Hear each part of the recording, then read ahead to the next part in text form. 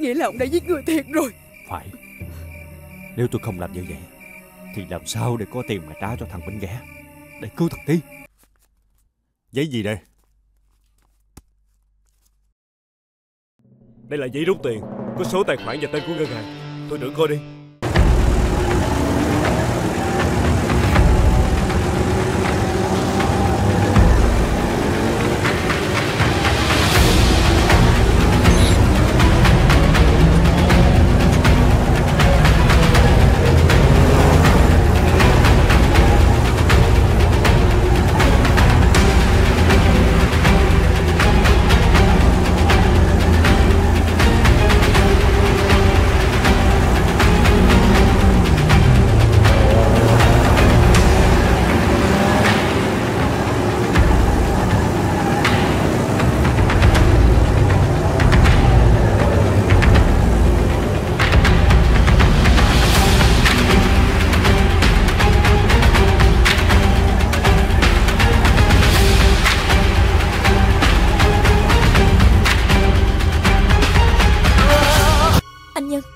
Sao anh lại có mặt ở đây vậy?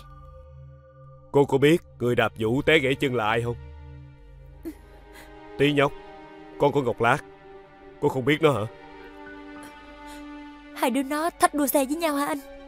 Ừ Đua một nhóm. Nhưng không hiểu tại sao Tí và Vũ lại đấu tay đôi. Tôi đang tìm hiểu cái chuyện là Liệu tụi nó có biết nhau không? Rồi dùng cái chuyện đua xe để mà trả thù riêng này. Mày đứng đây mày nói chuyện với mẹ. Mày không có được đi Mày đứng lại chơi thằng bất dạy Đồ con bất hiếu. Trời ơi là trời.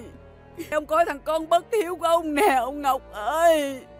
Hành động nổi loạn đó của nó Chứng tỏ là nó cần hơn nữa sự quan tâm Chăm sóc của chị. Không phải. Nó là thằng bỏ đi từ lâu rồi. Nếu như tôi chứng minh nó không phải thì sao? Tôi sẽ cho thằng Tý thêm một cơ hội. Tí nó sẽ được về nhà để chịu tan cha Nhưng chị cần phải mềm mỏng Và hiểu tâm lý của nó hơn nữa Tôi tin là sau một thời gian ngắn Tí ở tù Nó sẽ đàng hoàng và chín chắn hơn. Cậu có chắc không? Đây là cách duy nhất để cứu con chị. Còn nếu như Chị cứ ruồng rẫy hắt hủi nó Thì coi như chị mất đứa con này ngay từ đây. Tôi sẽ làm theo ý cậu. Tôi có chuyện này cần chị giúp lại. Ngọc Lát đã khai là bà Mai không phải là kẻ chủ mưu. Chuyện đó là chuyện của ổng. Tôi không biết gì hết. Bây giờ tôi có chuyện Phải đi liền.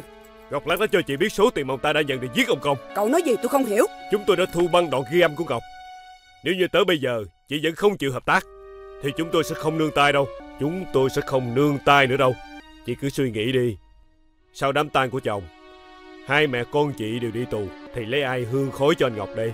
Thật ra bữa đó Tôi không hề biết tiền của ông Ngọc đưa cho tôi Là tiền của người ta mướn ông giết người.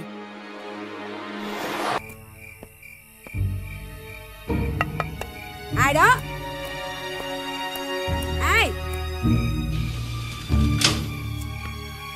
Tôi nè. Qua đây. Trời ơi. Giờ này là mấy giờ rồi ông? Cái này là 200 triệu. Bà giữ lấy để lo cho thằng Tí Còn cái này làm vốn mua bán. Tiền ở đâu nhiều quá vậy? Ông đi ăn cướp của người ta hả? Bà hỏi nhiều quá. Lần này tôi lặn sâu người ta nhé. Đừng có mất công tìm kiếm tôi. Nè Nhớ lời tôi nha Nếu như có ai hỏi Thì nói mấy ngày hôm nay tôi ở nhà với bà nghe chưa Ông đi. Lần này Ông làm chuyện gì ghê gớm lắm phải không? Phải. Hả? Bây giờ tôi không còn được quay đầu nữa. Nghĩa là ông đã giết người thiệt rồi. Phải. Nếu tôi không làm như vậy Thì làm sao để có tiền mà trả cho thằng Binh ghẻ Để cứu thằng Tí Ông trả lại cho người ta đi. Ông đi trả cho người ta đi ông Ngọc ơi Ông Ngọc ơi tôi không cần tiền. Trước sau gì tôi cũng chết mà. Không bằng cách này thì cũng bằng cách khác Nhưng nếu tôi chết mà con tôi được sống Thì tôi chết cũng đáng mà Ông ơi. Số tiền đó bây giờ ở đâu? Số tiền đó còn nguyên ở nhà.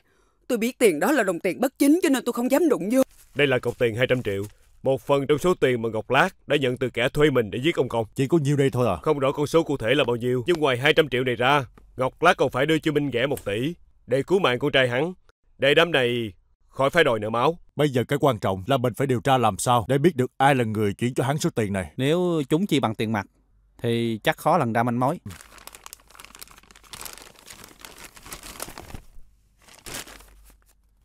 Giấy gì đây? Đây là giấy rút tiền Có số tài khoản và tên của ngân hàng Tôi tưởng coi đi Lập tức cho kiểm tra ngay số tài khoản này. Coi thời gian gần đây ai là người chuyển số tiền lớn vô chủ tài khoản này. Rõ Nút thắt sẽ được hé mở nếu trí nhớ của Triều không được khôi phục. Ông Hoàng Ông biết là ai đã chuyển tiền cho Ngọc Lát không Ai vậy? Ông Lê Hữu Công Cái gì?